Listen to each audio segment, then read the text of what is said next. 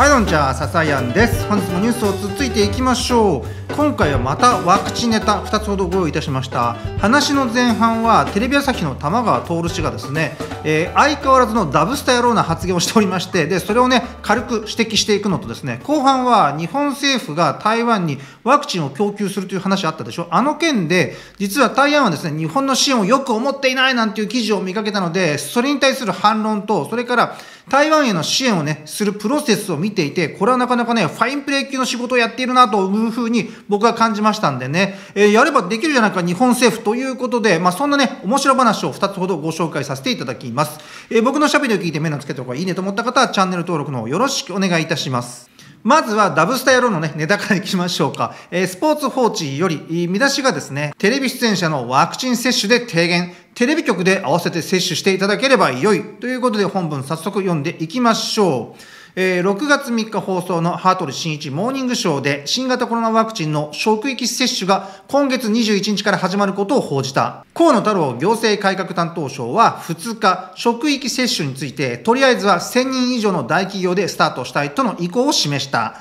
同局コメンテーターの玉野川が透き通るさんがテレビを見ている方々からすると他の企業の話ばっかり聞いてテレビ朝日はどうなってんだと思ってる人絶対いらっしゃると思うのでとした上で聞きましたテレビ朝日にどうするのって、そしたら準備をしていると、だからテレビ朝日もやるんですよねと明かしていた。はい、ストップ。おーっと。それはめでたい話なんですけども、でもね、なんか違和感があるんですよね。まあ、その理由はね、おいおい話していきますけれども、とりあえず先を急ぎます。えー、その上で、テレビ局はオリンピックが行われるとすれば、中継とか取材とかするわけですよね。その中で取材することで、そういう人たちの接種は多分必要になると思うので、迷惑かけないで自前でやることが大事だと思いますと指摘した。あのー、玉の川さんね、あんた何か言ってることはおかしいぞと。あなたは東京オリンピックは中止すべきだ !X と言っていたかと思うんですけどもね、ここに来て中継するだとか取材するだとかね、いやちょっと待ってけど、そこはテレビ朝日的にはですね、取材ボイコットでしょ？え東京オリンピックは中止すべきだってね、そういう立場なんだから、俺たちは取材しないってね、そう言っておかないと、辻褄が合わないでしょうと。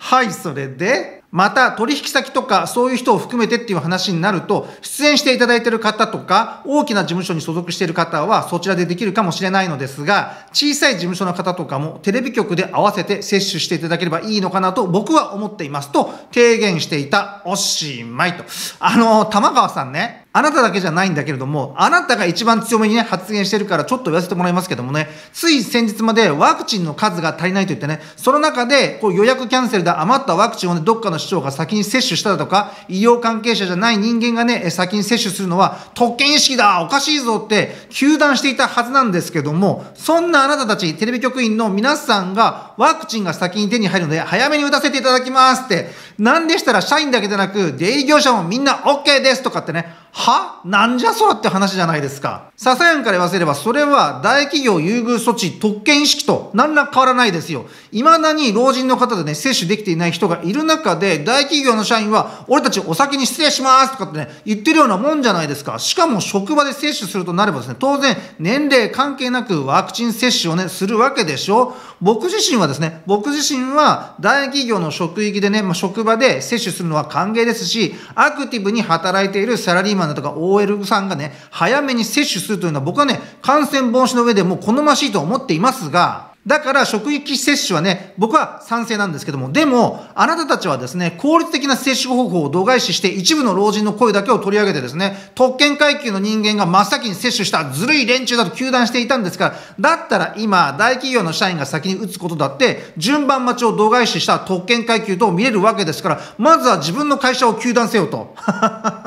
それができないのであれば、自分たちがいかに常に馬鹿げた話をしているのかを反省していただいて、偏った報道はしなさいさんなという、そういうお話でございます。テレビを見てるとバカになるって言われますけどもね、ちょっとニュアンス違いますよね。テレビを見てると二枚時代になるっていうのが正解だと思います。さて、お次はですね、日本政府が台湾にワクチンを供給する話なんですけども、あれで台湾からクレームが出ていると、寝ぼけたことを言ってる記事をね、ちょっと紹介していきましょうか。日刊現代より、え、見出しがですね、友情か政治利用か、台湾にアストラ製ワクチン支援、日本政府の晴れない疑念ということで本文抜粋して読んでいきましょう。コロナ対策優等生から一転して防戦一方となった台湾に日本からアストラゼネカ製のワクチン供与が検討されることになった。台湾総統の蔡英文氏は深い友情に心から感謝とツイッターに投稿。政権周辺から感謝が連発された。台湾は昨年以来水際対策に全力を挙げる一方、ワクチン争奪戦には全くの無意無策だった。アストラゼネカ製約20万人分の備蓄をするだけで、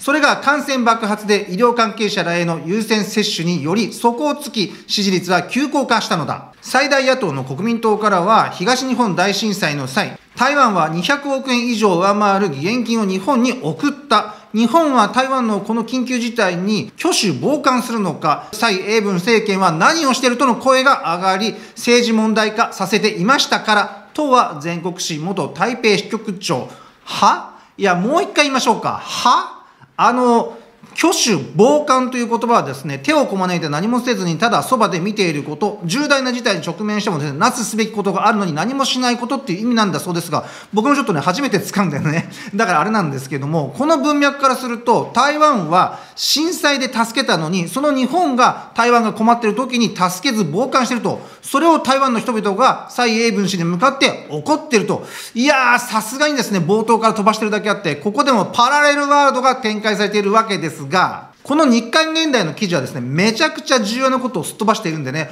これわざとね、言及していないんだろうと思うんですけども、えここ最近まで日本はワクチンの在庫が不足しておりまして、他国に振り向ける余力がなかったわけです。この前の動画でもちょっとお話ししましたけども、厚労省のルートでは拉致が開かないということで、外務省ルートで日本大使をね、中米日本大使を使い、河野太郎大臣も使い、そして4月の日米首脳会談においてですね、菅首相がファイザーの CEO に電話をかけるというのも、一種のセレモニーなんですけど、そこまでやって、バイデン大統領に花を持たせて、ようやく6月末までにですね、ほぼ日本の人口が賄える2億4000万回分のワクチン調達に目処がついたわけでして、それがあっての今ということですからね、ワクチンの余剰ね、ストックの余剰というのは前々からあったわけではないんですよ。そもそも契約を交わしたところでですね、現物、ワクチンの現物が手に入らなければ、他国に余剰のワクチンを振り向けることなんか最初からできないわけですからね。で、さらに言いますと、余剰在庫がない日本に対してね、ワクチンを分けてくれない日本は冷たい奴らだなんて、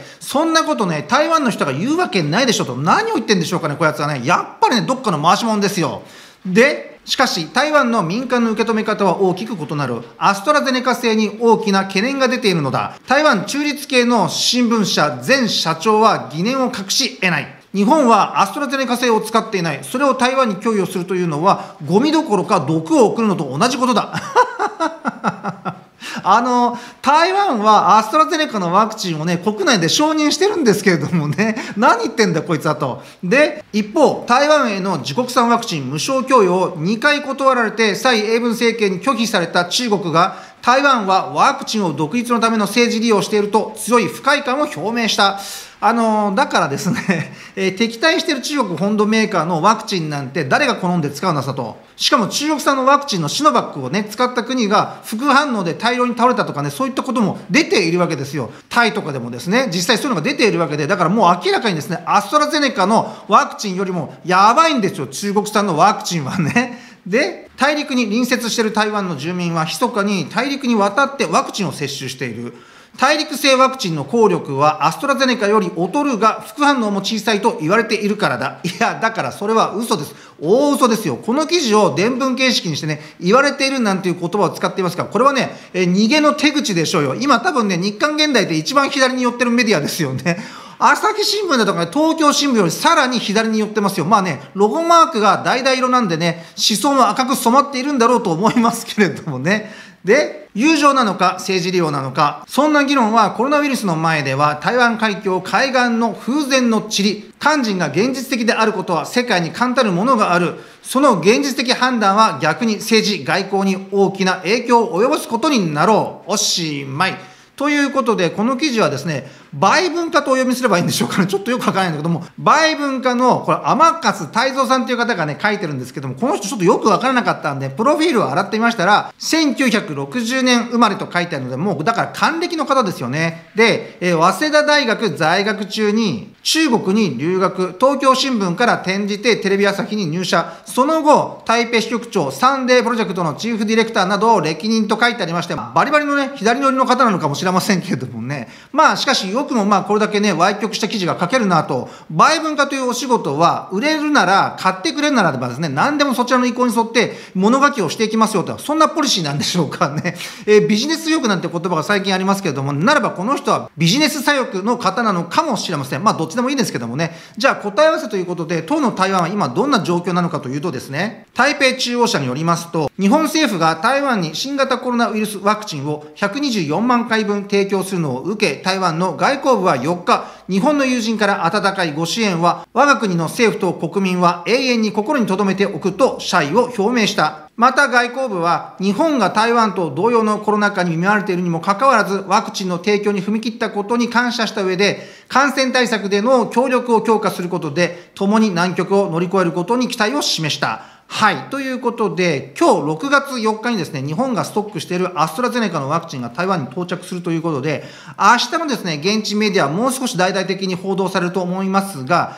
中国から事実上ね、嫌がらせされている台湾にとって、え日本からワクチンが供給されるというのは、これね、物量以上に、先ほど言ったね、124万回分、これ以上に意味のあることと僕は思っておりまして、なんせ中国はですね、この前の動画でもちょっと説明いたしましたけれども、台湾に対して中国産のワクチンを供給しますよなんてね、困った時はお互い様ニーハオみたいなポーズをとっているんですけども、台湾はそれを嫌ってですね、ドイツのビオンテックのワクチンを購入すると伝わるや否や、今度は上海のね、中国の上海の企業を使って、えこの企業がですね、ドイツビオンテック社のこの中国の国内のですね、販売権を持ってるんですけども、その上海企業の販売権を行使して、逆にですね、台湾へこうビオンテック社がですね、供給するのをストップさせたりという、そういうね、暴挙が発覚してるんですよ。このように、今ね、台湾っていうのは八方塞がりの状況でして、日本が供給量を確保してあげたというのは、非常にエポックメイキングな話だと思います。います。そして特にですね、今回この台湾のワクチン供給、僕が一番注目しているのは、えー、先ほども言いましたけどね、ワクチンの物量ではなくてですね、供給の仕方です。